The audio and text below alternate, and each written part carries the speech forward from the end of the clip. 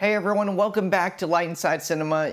You know, in the previous DaVinci Resolve tutorial video, I received a comment asking me why I don't use adjustment clips when it comes to color grading, and we're gonna cover that and more today. Let's buckle up and let's dive straight into DaVinci Resolve.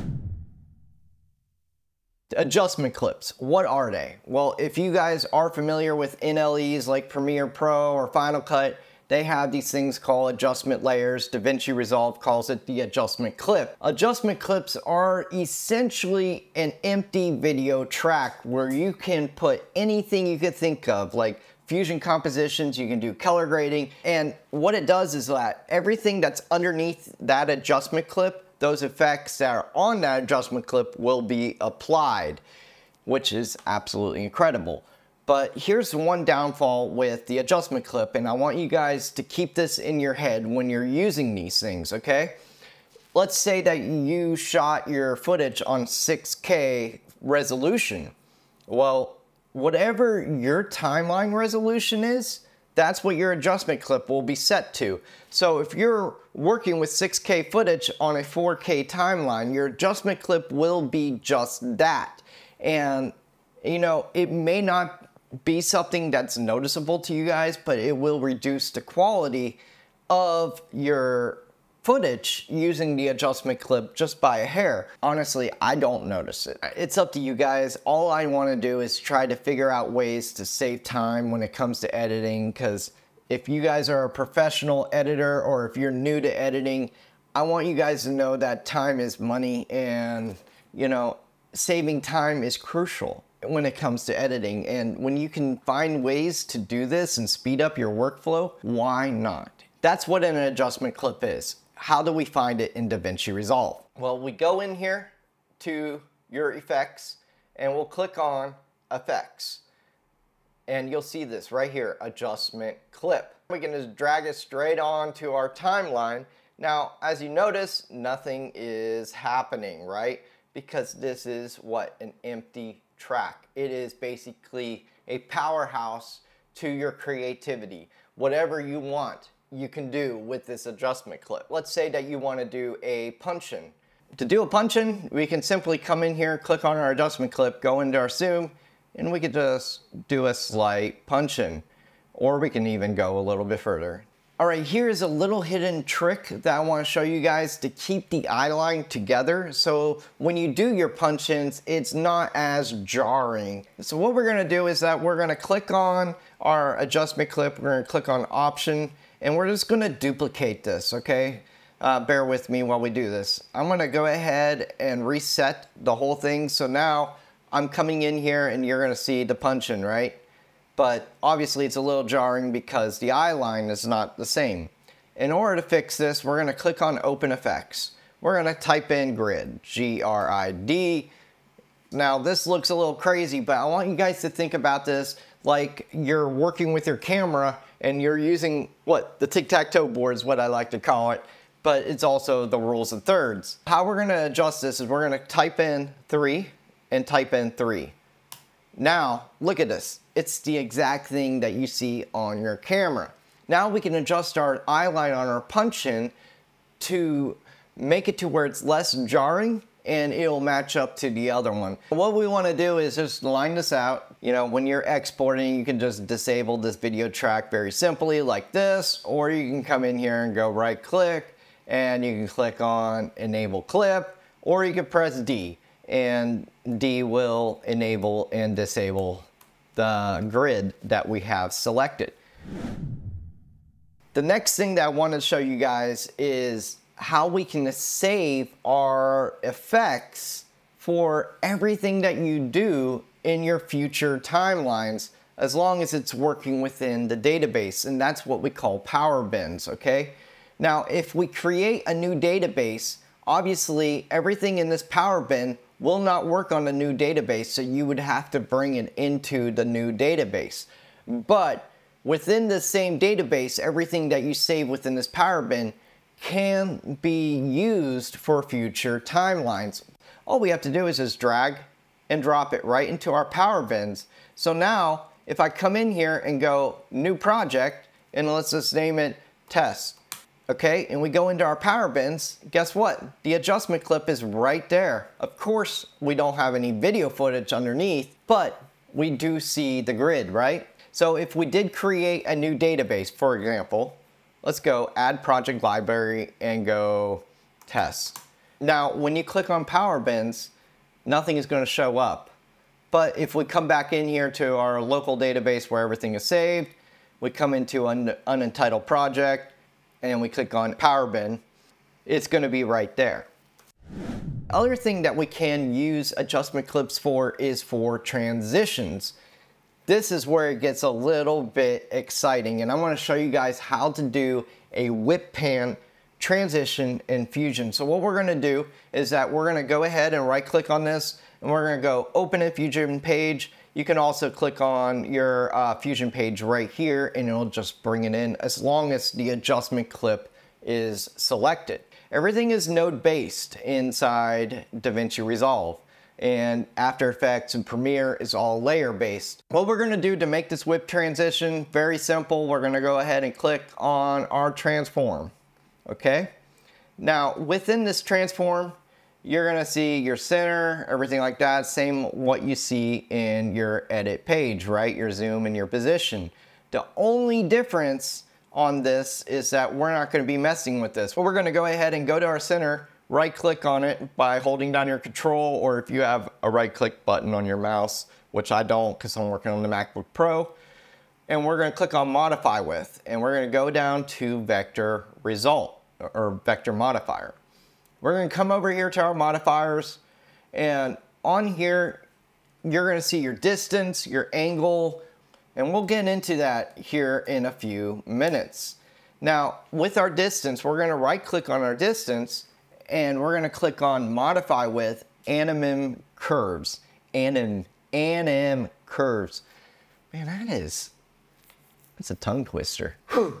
Okay, so what anim curves does is it basically kind of creates the keyframes and all the guesswork for you so you don't have to go in there and manually do everything. And it's just absolutely incredible what it does.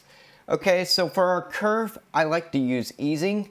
And our in and out points, we're gonna set it down to expo and expo, okay?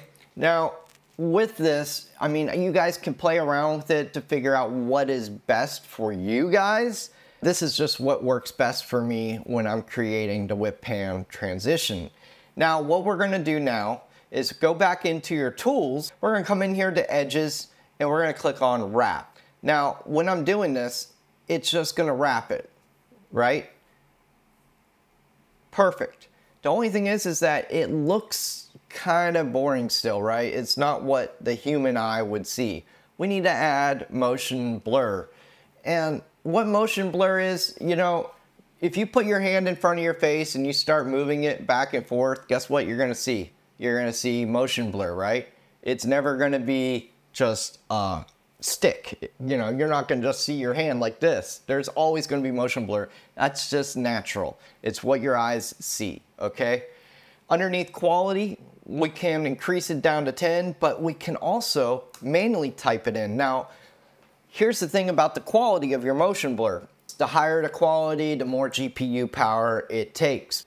If you can get your transition to actually render, then you can actually put it at a higher quality than what it's maxed at, okay? So let's just do it at 10, or we can come up here and do 15.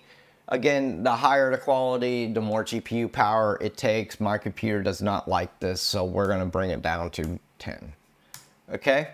Now is we're gonna see a very smooth transition, right? So it's going from one to another. Now, here's one thing about the whip pans is that you can go as wild and crazy as you guys want and underneath your scaling, you know, the higher your scaling, the more it will do kind of crazy whip pan effects. So play around with it and find what works best for you on here. I'm gonna go back into zero and obviously this is just a whip pan right. We can come back in here to edit though and say that we want to save this for our future videos. We can come in here and instead of dragging it, let's go to file and we'll say whip right. Of course, I already have a whip right. and then you're just gonna drag and drop it right here, okay? I can go back in here and say, I want the whip right, boom, and keep it right here in the center, and now look what it's doing. It does a whip right. You can also make it to do whip ups, whip downs, and whip lefts, and the way that we do that is we're gonna jump back into our Fusion tab, and we're gonna go into our modifier, we're gonna go into our distance, we're gonna put this to, let's reset this to one, and this runs at right angles, okay? So it has like an 80, a 90, even a 270. So it's like, what if I do a 270? What's gonna happen is that it's gonna go down, right? So let's do a 180. When I do 180, guess what it does? It goes left, okay? And you can create as many whips as you want. You can have all four of them, you know, whip right, whip, whip left, whip up, whip down, and that way you could just drag and drop it across your timelines no matter where you have it. All right, here's a great time to take a little break and tell you guys if you guys are learning DaVinci Resolve, this is the channel for you. Every Friday we do post a new video tutorial and we're here as a community growing and learning together. So with that being said, if you want to learn DaVinci Resolve, click that subscribe button. If you guys want to learn filmmaking in general, we'll be posting that on Tuesdays. Just click that subscribe button, click that bell notification icon, and you will be notified on our future videos, okay? All right, let's get back into it. Now let's talk about how we can use the color grading feature for adjustment clips, and this is where that one guy commented on there say, why don't we use it? Well, the reason why I don't use the adjustment clip when it comes to color grading is, well, let me just say this. I didn't even think about using it for color grading. And so my mind is blown what you can do with this thing. So what we can do here is that we can click on our adjustment clip and I say this is about four minutes in length. So we'll press Command D and we're gonna come in here to, let's just go to four minutes. Now it should be near the end. Yes, it's just a little bit over. We can click on our color grade and we can go in here and just, let's just do a slight coolness, I would say. And we'll pull this off by adjusting it just a hair. Okay, so this is a perfect. And as you guys can see right here, I'm working on the adjustment clip, which means everything underneath it is what? Affected by what's on this adjustment clip. Now that we have this grade, we can come in here and go file and go, I love it. Now what we can do is go into our power bin again, right? And we could click on this and drag it right in here. So now every time I have a new timeline and I like that grade and I want to reuse it, I just have to go boom.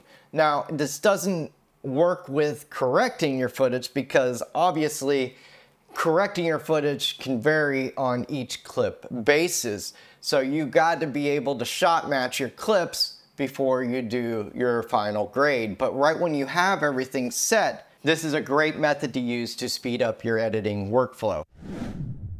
Lastly, I want to talk about aspect ratios, okay? Let's just say that we are uh, working on a 1920 by 1080 timeline and your uh, director comes up to you after you get done editing this long feature, like an hour long feature or an hour long documentary film, and says, I don't like this aspect ratio of 16 by 9, which is standard on television, right? 16 by 9 aspect ratio.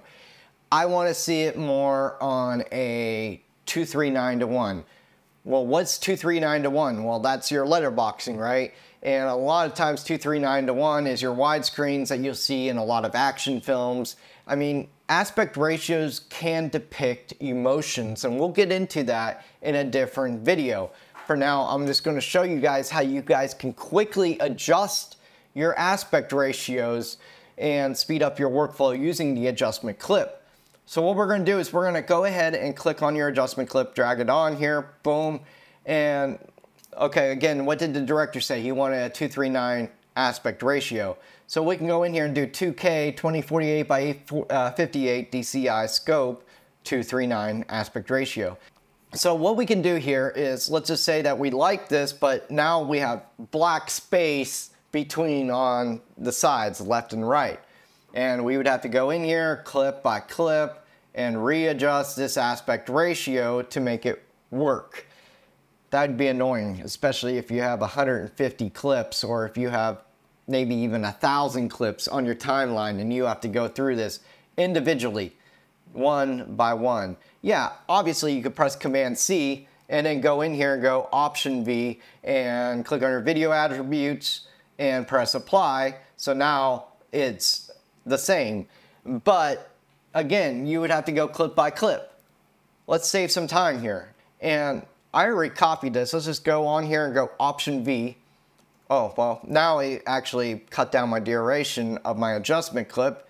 But we could come in here and go Command D and go in here to our four minute length. And now everything is gonna be 239 to one. Right there you guys have it. Ways to save time editing using the adjustment clip. I really appreciate that guy putting that comment in. And you know, it's just mind blowing what you guys can do with the adjustment clip. And remember, the adjustment clip is based on your timeline resolution, not your clip resolution. If you guys like this content, please press that like button, click that subscribe button, and smash that notification icon, bell button, whatever it is, to you know, be notified on future videos. Before we go, guys, uh, I forgot to bring in on our community tab, and it looks like we have 27% that wants another DaVinci Resolve giveaway, 53% wants the Aperture 60X, 30, 13%, excuse me, wants the DJI wireless mic, 7% wants a monitor. So this is what we're gonna end up doing, guys, because I I feel like Christmas time, you know, Christmas time is time of giving. I'm actually gonna do two, okay? We're gonna do two giveaways in December instead of one. We're gonna give away the DaVinci Resolve Studio and we're gonna give away the Aperture 60X, okay? So we're gonna have two different winners for our giveaway coming up in December. That is December 1st, running till December 27th. And we're gonna be announcing the winner December 27th. So stay tuned for that. And I'm just excited about our future together, guys. We're learning, we're growing together. This is amazing. We're building this family together. And that's what it's all about, right? Until next time, practice and create.